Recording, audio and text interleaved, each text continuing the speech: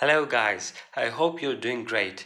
In this video, I'm going to show you how to auto-save your Snapchat conversations on iPhone. So without any further ado, let's just open our Snapchat app. Okay, so click on messages icon. As you can see, I've had a conversation with Farhan Ali. Let's open it. Okay, so here you can see that I've sent him a message. To save that message, you just have to tap it and here you can see saved. Okay, so this was the method number one to save your text messages and method number two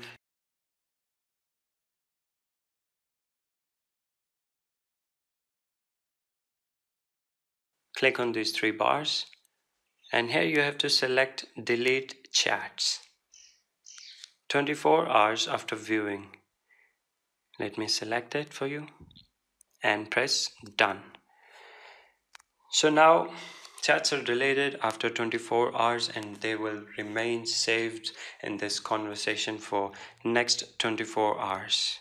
So that was it for today. I just showed you two methods to save your conversation with someone on Snapchat on iPhone I really hope that you loved this video because if you did, please don't forget to subscribe to this really amazing channel and like this video. Thank you.